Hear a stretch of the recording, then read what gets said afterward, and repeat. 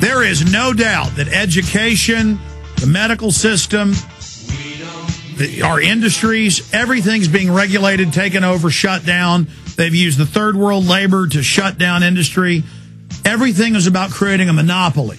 The government wants to wreck society so they can consolidate it, just like Mao and Lenin with their great leap forwards. This is a system of control. Order out of chaos. Dr. Russell Blaylock's uh, our guest. I was giving out his, the Newsmax.com newsletter that they have with Dr. Blaylock.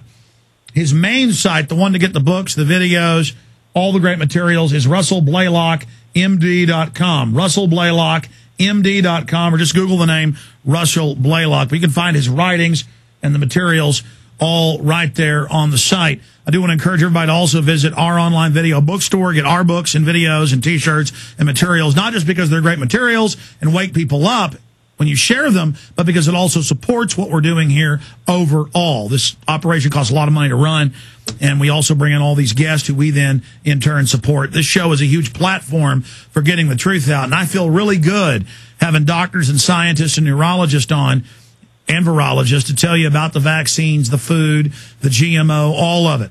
Uh, because uh, this is eugenics, this is real, this is what the elite are doing to us.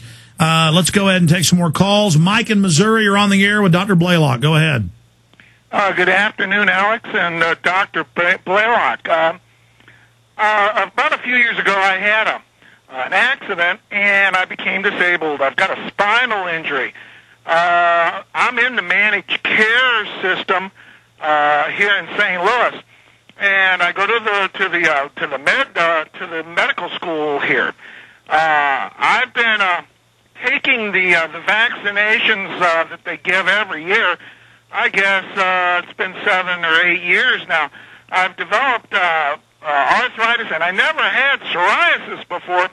And my uh, my question is.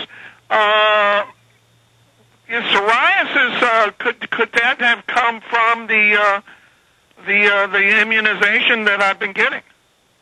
Well, it's possible because it is an autoimmune disease, but psoriasis is associated with uh, arthritis. Uh, there is a, a rheumatoid uh, arthritis syndrome associated with psoriasis. Now, whether or not you just spontaneously develop psoriasis or the vaccines, it's hard to tell, but it is an autoimmune disease, and we're seeing a lot of psoriasis now. Uh, like I said, all of the autoimmune diseases are increasing astronomically.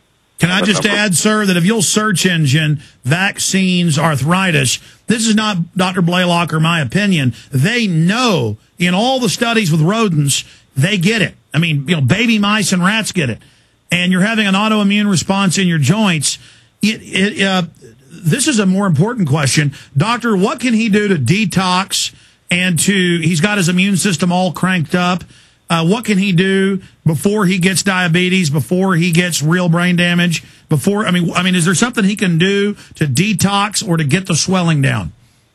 Well, I can't give specific advice uh, over the program, but just in general, what you want to do is if you're having an autoimmune reaction, you want to increase your omega 3 uh, oil intake. Uh, there's a Norwegian oil uh, that you can uh, get that has a uh, balance of the EPA, DHA components that reduces this autoimmune reaction. Works very well for a lot of autoimmune diseases. You just take a teaspoon a day, uh, every day. Um, but uh, vitamin D3 is the most important. It is an immune modulator. Uh, it prevents uh, overreactivity of the immune system. And there's good evidence that people who have rheumatoid arthritis or, or lupus or these other diseases uh, have a deficiency in vitamin D3. You may have heard about multiple sclerosis and the connection to sun exposure. Uh, you can take vitamin D3 in a dose of uh, uh, 2,000 to 5,000 units a day, and that can significantly reduce uh, many of these autoimmune diseases. And I, that's uh, a good way to prevent the, the flu uh, from causing bad injury to you. Because when you take vitamin D3, it stimulates the body to produce what's called antimicrobial peptides, and they are very powerful at killing viruses, bacteria, fungi. And there's evidence that people who have high vitamin D level rarely have any sort of bad effects from flu infections or other types. And sir, isn't it showing that cancer rates go way down from people getting moderate sun every day? Yeah, it's uh, with elevated vitamin D3 in the body, it's uh, about a 50% reduction in a, a number of cancers, particularly breast cancer, prostate cancer, lung cancer. Um, and it's for the same reason because all of these things are produced for chronic inflammation, and vitamin D3 reduces inflammation. Now, vitamin D3 is the functional form of the vitamin. You can buy it as vitamin D3. But the recommendation now is by the health authorities is 2,000 units of vitamin D3 for everybody, even children, every day. And if you give it to your children, you'll find they rarely get infections and they get over their colds and flus. Well, I mean, this goes back to, and, I, again, I'm not a biologist or a brain surgeon like you, but just reading medical text, I can get the essence of it. But that's why they call the British limeys because their guys weren't collapsing on the deck 10,000 miles away from home because they carried little limes with them. That kept their collagen up because the vitamin C was needed with the vitamin D absorption somehow at a metabolic level. I, I don't quite understand that, but, but I mean, look, a lot of America has scurvy. We're not getting sunlight. We're not eating good food. We're eating a bunch of crud. Uh, I mean, in layman's terms, is that good advice, doctor? Yeah, you know, all of these vitamins interact. People don't generally, and a lot of nutritionists don't seem to understand that the vitamins uh, have interactions that benefit uh, the uh, functional ability of the vitamin.